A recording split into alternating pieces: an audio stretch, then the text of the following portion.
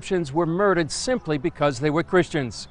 Survivors of the attack said 10 masked militants forced victims to leave the bus one by one and then asked them if they were Christian before killing them.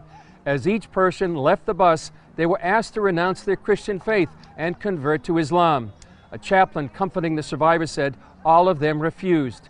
Each person was killed with a gunshot to the head or throat, including children.